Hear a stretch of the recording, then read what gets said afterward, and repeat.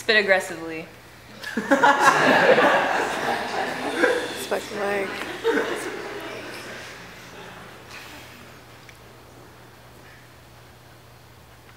When I looked into your eyes, I didn't know of their ability to swallow truth.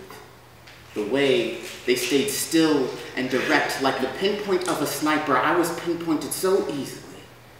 Like a deer in headlights, I was fixed on your beauty, on your talents, on the way you sounded when you picked up the phone, on your very presence. I lingered, and you came crashing like 10,000 leagues of your influence in which I drowned who I was to be reborn as someone I thought you could love, but you loved everyone but me.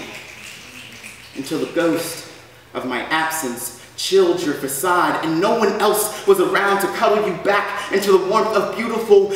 I accepted you like with diamonds in my eyes shining bright, full of hope and expectations that this time, this time will be different, but nothing was different because you made it so easy to fall.